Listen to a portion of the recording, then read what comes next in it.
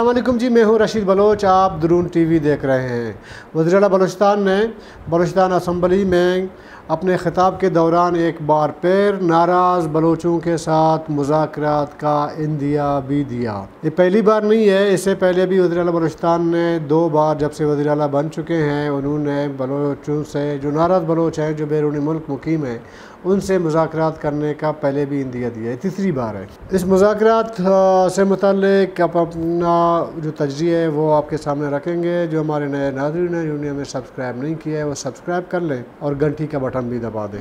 Insurgency की वजह से जो हालात ख़राब हैं उसमें बहुत सारे हमारे मामला हैं। कम आ, काम भी बहुत सुस्त रवैये का शिकार हो जाता है और टाइमली कंप्लीट भी नहीं होता है और साथ साथ पैसे भी हमारे ज़्यादा लगते हैं।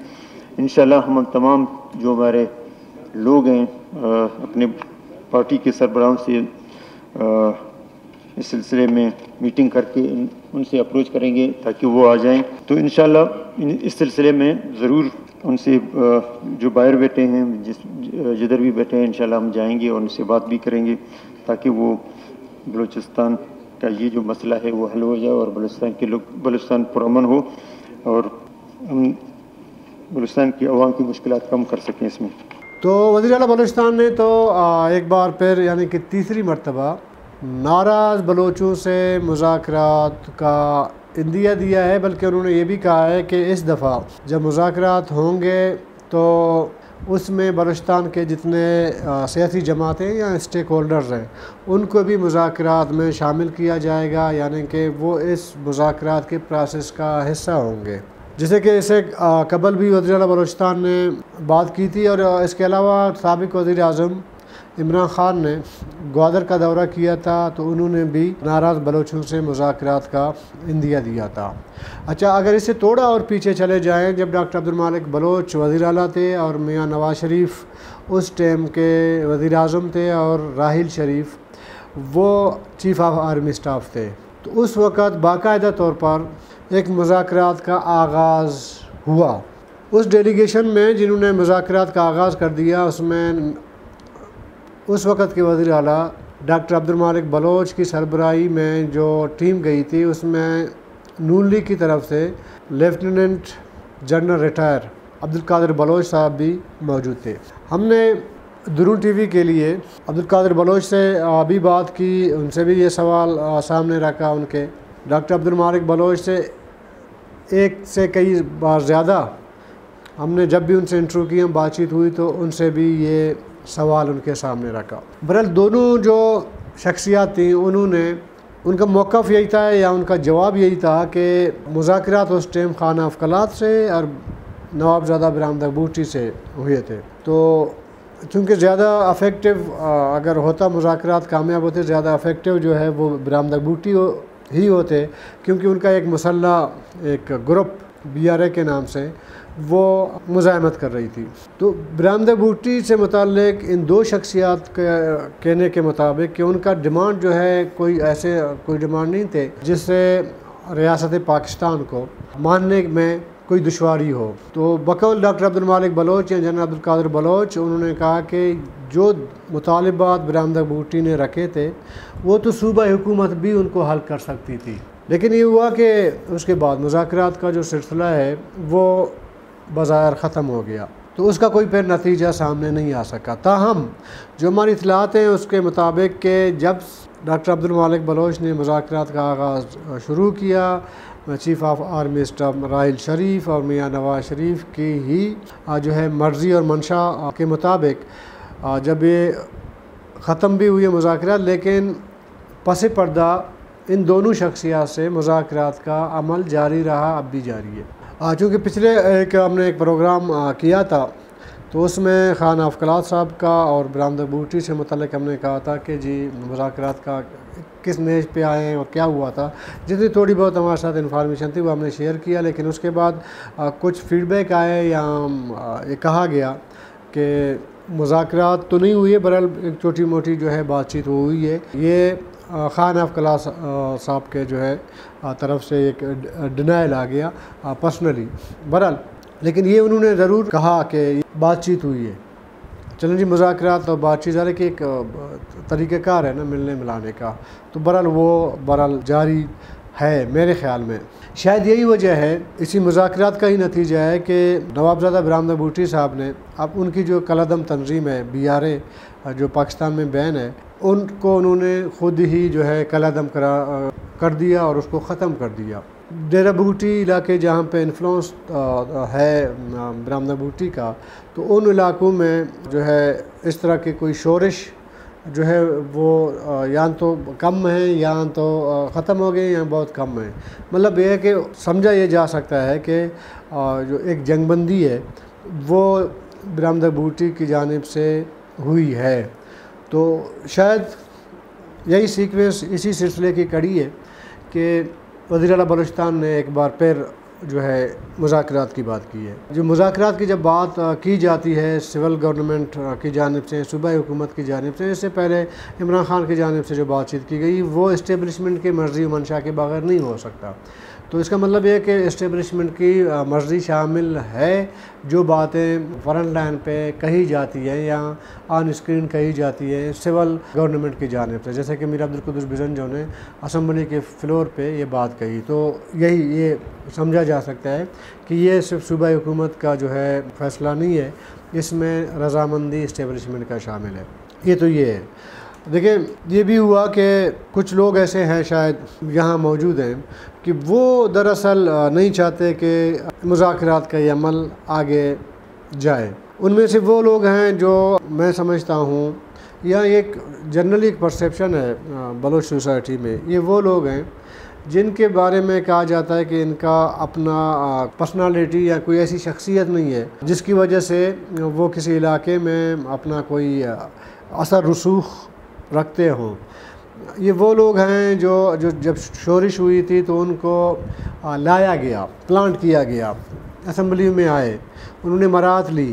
तो वो ये उनके ख्याल है शायद, वो ये समझते हैं कि अगर बिलफर्ज बरामदा बूटी से मुजाकर हो गए और बरामदा बूटी वापस, आ गए डेरा बूटी बैठ गए हैं तो जो लोग ज़ाहिर के काफ़ी असर रसूख है, हुकूमती इदारों में, रियासती इदारों में, उनका एक जहाँ पहचान बन गया है, जहाँ पे उनको मराद मिलती हैं, वजारतें मिलती हैं, सैनिटरशिप मिलता है तो वो रास्ता शायद वो समझते हैं कि रुक जाए और वो ये समझते हैं कि अगर बरामदा बूटी भी आ गए ना डेरा बूटी तो उनका ये दुकानदारी ये बंद होगी। शायद कुछ ऐसे लोग हैं जो हब्बुलवतनी का बहुत सी चीज़ें पेश करके, ख़ुद को महब वतन पेश करके यकीन दयानी कराते हैं आगे कि जी हम महब वतन हैं, हमने जी कुर्बानियाँ दी हैं। हमारी वजह, उस वक़्त जब शोरिश थी, तब भी हम आपके साथ थे। अभी अगर ये लोग मुजाकर के ज़रिए दोबारा आएँगे तो हमारा फ्यूचर क्या होगा मुस्तबिल क्या होगा? इसी शायद व्यू कह सकते हैं, कशमकश में मुजाकर को इस तरह संजीदा नहीं लिया। जा रहा है या नहीं लिया गया।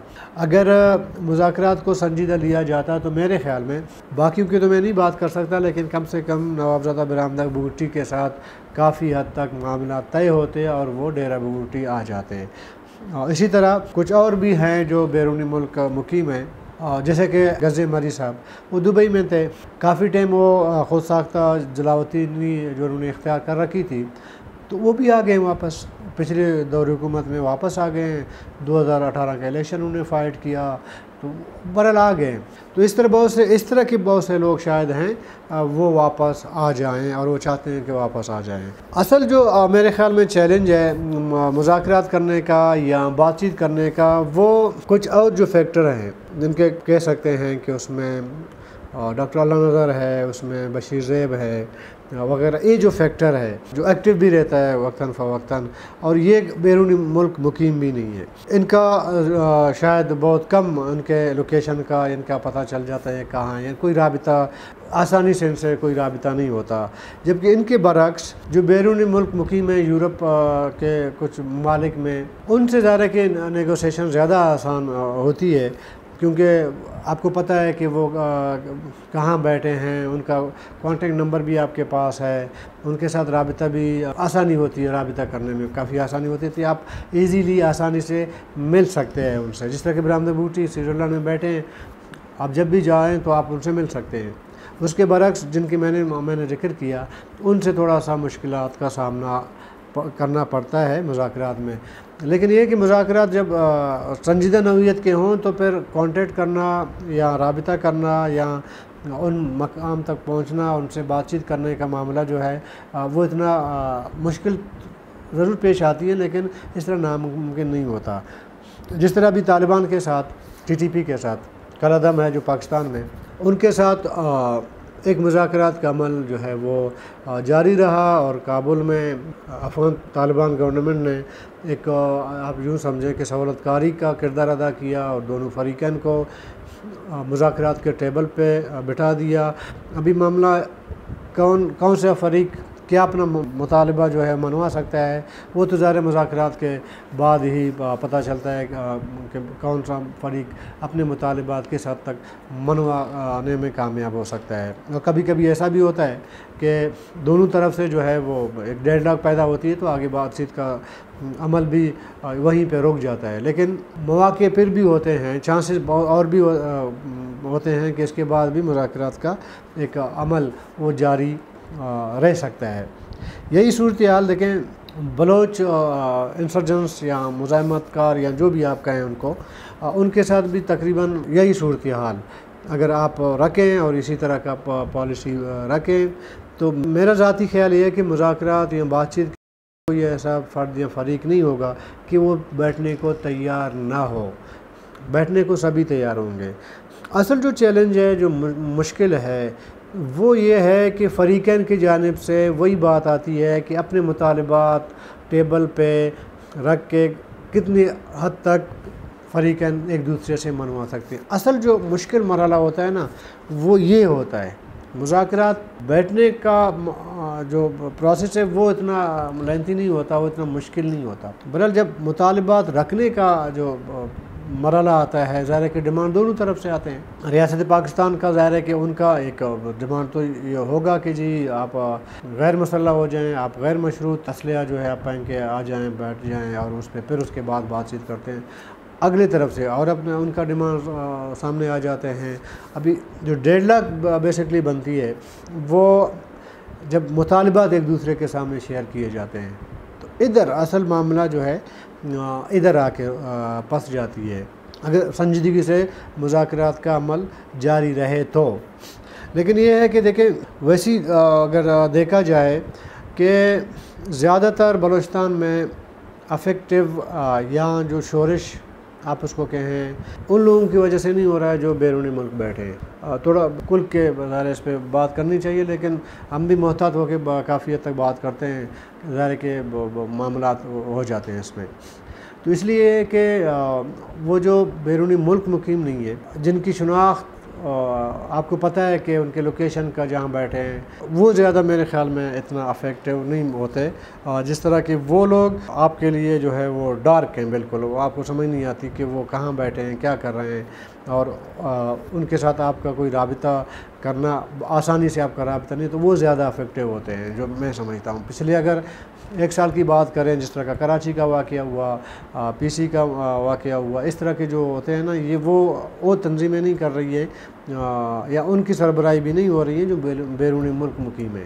ये उनकी सरबराही में हो रही है जो आप, उनका लोकेशन नहीं पता कि वो कहाँ बैठे हैं, क्या कर रहे हैं। उनके साथ जो एक रबते का सिलसिला है, वो नहीं हो पा रहा है। ये उनकी वजह से हो रहा है। ये अभी देखना है। लेकिन अगर मुजाकर का अमल जारी रहे बिलफर्ड अगर बरामदा बगूटी से मुजाकर का अमल जारी रहे और ज़ाहिर कि मैंने पिछले उसमें, अपने व्लॉग में कहा था कि उसमें कंपनसेशन वगैरह की जो है उन्होंने जो डिमांड रखा है तो वो अगर पूरे हों, मुमकिन है वो वापस आ जाए। इम्कान बहुत बहुत हद तक हैं, क्योंकि मैंने जैसे कहा कि उन्होंने एक हद तक अपनी जगबंदी की, बल्कि अपनी उन्होंने जो ऑर्गेनाइजेशन वो चला रहे थे उनको भी उन्होंने ख़त्म करवा दिया। फिर अंदर के जो इख्तलाफात पैदा हुए आपको पता है कि फिर कलादम ए कलादम बी आर ए फिर इन्होंने जो है अपना अलायंस बनाया, बलोच नेशनलिस्ट आर्मी के नाम से जो कलादम है पाकिस्तान में, उसके नाम से बनाया, उसमें एक कलादम बी आर ए से एक ग्रुप निकल गई और दूसरा कलादम ए से निकल गई। तो उन, उन्होंने अपना सेपरेट तंजीम जो है वो ऑर्गेनाइजेशन उन्होंने बना दी। तो ऐसे समझें कि अंदर जो इख्तलाफात उनकी पैदा हो रहे थे तो वो आपस में भी उनके इख्तलाफात इस बुनियाद पे हुए थे। ये तमाम सूरत हाल है मुजाकर के जो मामला चल रहे हैं उसमें। दूसरी ये है कि देखें फिर ये भी है कि जब आप एक से मुजाकर करते हैं, एक राहमार हो जाती है अगले के लिए। बरामदक बूटी आ जाते हैं तो मुमकिन है कोई और उनसे मुजाकर हों तो वो भी आ जाएँ। तो लेकिन इसके लिए संजीदगी की ज़रूरत बहुत ज़्यादा है मेरे ख़्याल में।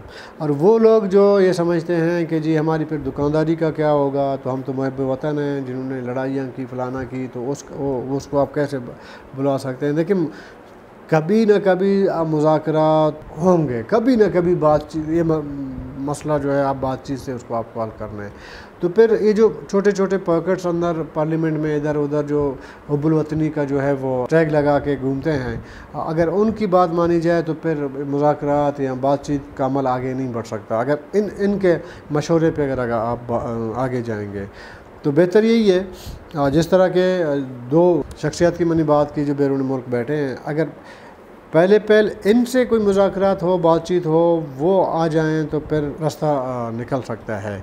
तो बहरहाल अभी ये डिपेंड करता है कि बलूचिस्तान हुकूमत इसमें कितना संजीदा है, मरकज़ी हुकूमत इसमें कितनी संजीदगी का मुजाहरा करेगा, और ज़ाहिर के फिर इस्टेबलिशमेंट या ओवरऑल आप देखें कि रियासत की जानब से वो कितना संजीदगी से इसको आगे बढ़ाया जाएगा, और आगे जिनसे आप बातचीत कर रहे हैं वो कितने संजीदे हैं बातचीत करने में।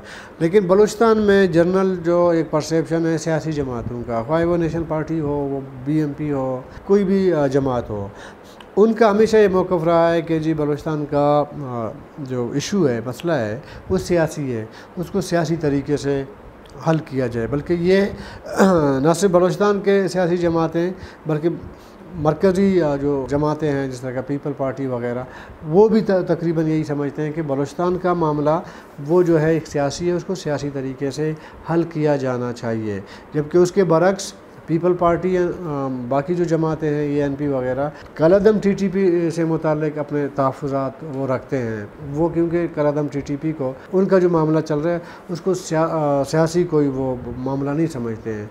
वो उसको किसी और नज़र से देखते हैं। लेकिन बलूचिस्तान का जहाँ तक मामला है, उसमें तकरीबन तमाम सियासी जमातें और उनकी एक परसेप्शन बनी है। कि बलोचिस्तान का मामला जो है वो सियासी है, उसको सियासी हवाले से हल किया जाना चाहिए। मेरे ख्याल में इस्टेबलिशमेंट के अंदर भी आप एक फैक्टर ऐसा है, वो भी यही समझती है कि खून खराबा ज़्यादा होती है जब लड़ाई होती है तो दो तरफ़ से नुकसान तो होते हैं लेकिन इस्टेब्लिशमेंट की तरफ़ से मेरे ख्याल में अभी थोड़ा बहुत रेलाज होना शुरू हुआ है कि वो समझते हैं कि बलूचिस्तान का मामला उसको भी इसी तरह जिस तरह के कलदम टी टी पी से मुजाकर का अमल जारी है उसी तरह जो बलोच मसल तनजीमें उनकी लीडरशिप है उनसे भी मुजाकर किया जाना चाहिए। तो ये आ, फिर वही बात आती है कि ये डिपेंड करते हैं संजीदगी पे और नेक नीयती पे कि किसकी नीयत कितनी नेक है। और कोई चीज़ नेक नीयती से अगर आप आगे बढ़ाएँगे तो फिर उसमें कामयाबी के इम्कान तकरीबन आपको नज़र आएँगे। अगर नहीं, वैसे ही तो फिर उसका कोई फ़ायदा नहीं है ना बातचीत करने का या आने जाने का फिर कोई फ़ायदा नहीं होगा आपको। मेरा ये सूरत है आज की। वजी अला बलूचिस्तान ने बात की तो हमने सोचा कि इस पर अपनी थोड़ी राय रखें, शायद हमने बहुत ज़्यादा खुल के उस पर बात नहीं की। थोड़ा बहुत जो हमारे इंफॉर्मेशन थी तो वो हमने आपको, आपके साथ शेयर कर लिए। तो जैसे जैसे डेवलपमेंट आएँगे तो हम आपके साथ शेयर करते रहेंगे। तब तक के लिए अपने औस रशीद बलोच को इजाज़त दीजिएगा। अल्लाह हाफ़